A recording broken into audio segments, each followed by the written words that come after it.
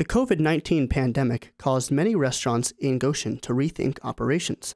Jesse Sensenig, co founder of GBCO, explained what the first few months of the pandemic were like.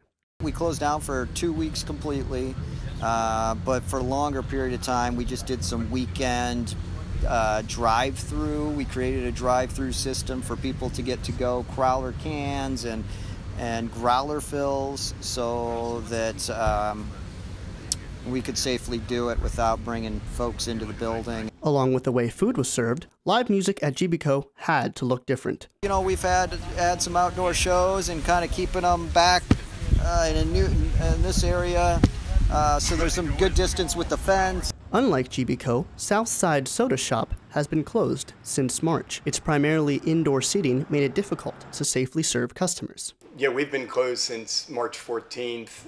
We just felt it was in the, our safety, our customer safety, our employee safety that we remain closed. Had no idea that um, it would be this long.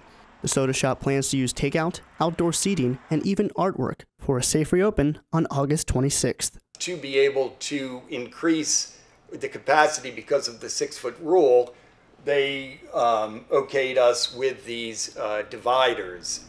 So we came up with the idea when it didn't we had said that we didn't really have to didn't have to be about the soda shop.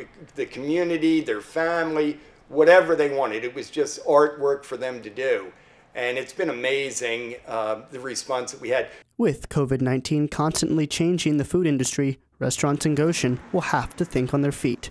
For globe news i'm nathan pauls